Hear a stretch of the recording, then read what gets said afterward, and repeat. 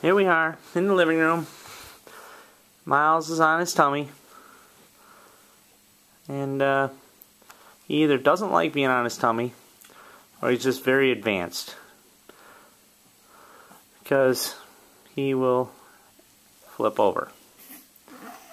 This usually happens at two to three months. But for some reason,